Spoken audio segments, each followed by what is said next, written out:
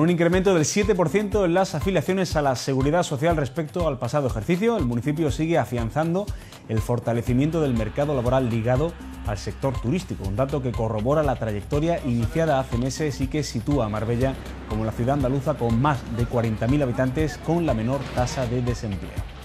En datos de afiliación a la seguridad social, es decir, de contrato, estamos en estos momentos en números similares al año 2007 es decir, estamos en números similares a antes de, la, de que estallara la crisis inmobiliaria en nuestro país. Son datos positivos que se acompañan a ese descenso del desempleo, al aumento de la estimulación de la economía en el municipio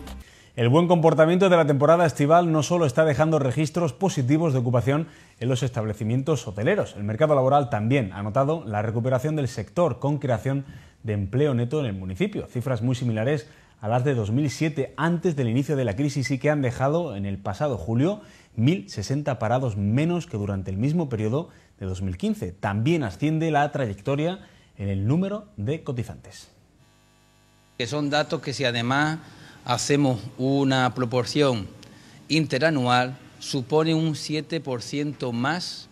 de afiliaciones a la seguridad social, de contrataciones con respecto al año anterior. Datos positivos que vuelvo a repetir, se fundamenta principalmente en el desarrollo, en el empuje del sector turístico en nuestra ciudad la principal industria de la ciudad, que ya dejó un buen primer semestre del año y una ampliación de la temporada alta a los meses de junio y previsiblemente hasta finales de octubre, es también responsable de que Marbella se sitúe como la ciudad con más de 40.000 habitantes de Andalucía con la menor tasa de desempleo. Marbella tiene actualmente menos de 11.000 personas desempleadas. Fíjense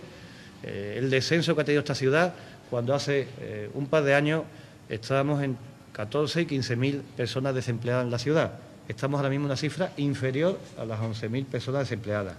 La tasa de desempleo de Marbella alcanza los niveles de finales de 2008 cuando eh, empezó la crisis.